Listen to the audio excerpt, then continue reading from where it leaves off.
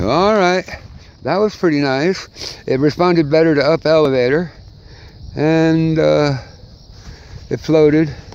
I would say right now the wind is about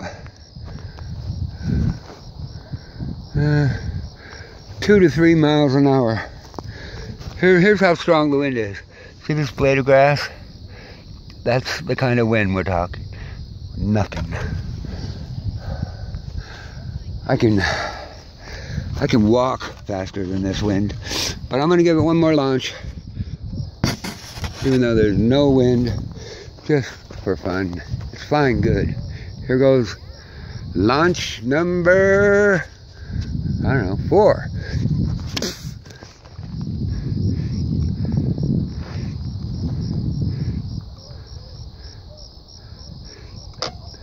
Well, as soon as I let go of the up elevator, it dove.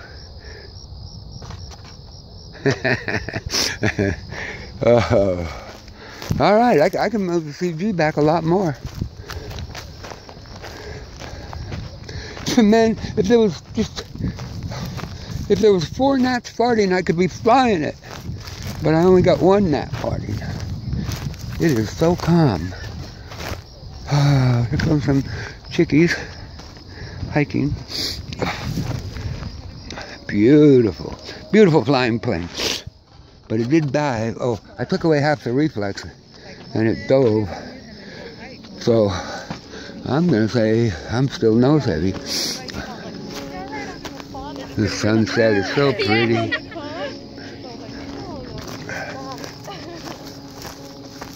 Yes, the sunset is pretty. Look at the wildflowers. I just stepped on them. Where are they?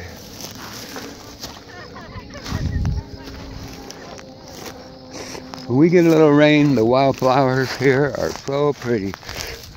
Look at that little guy there.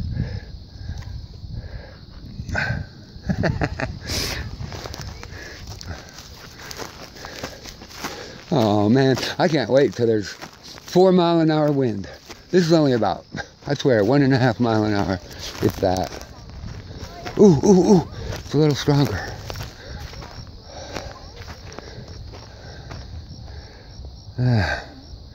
The wind is so darn calm. I mean, the trees are not blowing or nothing. Oh well.